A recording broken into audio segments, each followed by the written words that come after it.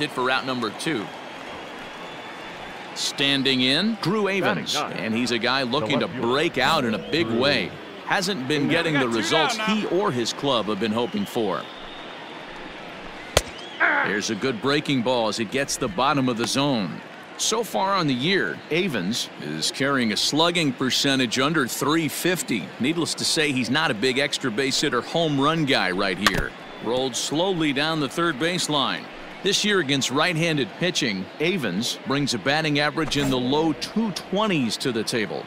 He'd be the first to tell you he's not happy with his batting average this season, but he can beat you in a variety of different ways, and he has to because he wouldn't be here otherwise.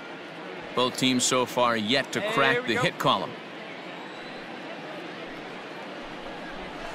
Tough curveball that time, but he's able to make a little contact to keep this at-bat going.